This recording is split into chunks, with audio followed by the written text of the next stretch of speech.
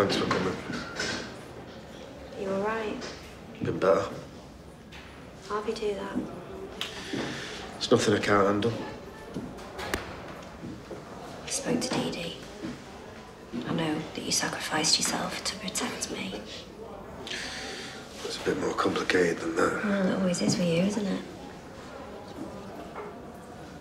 I've been thinking a lot, you know, about our situation. Me too.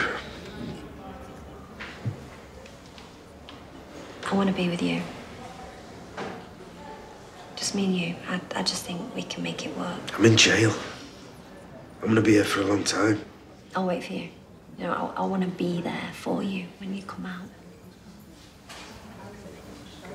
Hey, I thought you'd be happy. I don't want you to do that. Why not? Because I asked you here to tell you to your face. We're finished. I don't understand. I think you should go. I am not going anywhere. I know what you're doing, and you're being a martyr. You're making it so that you're giving me permission to walk away. I'm doing you a massive favour. I love you. You turned my world upside down, right? But if I loved you, I properly loved you. And I wouldn't have done the stuff I've done. I've got to walk away. I don't want to. I don't want to. I love you. I'm sorry. It's my decision. Bye, Sarah.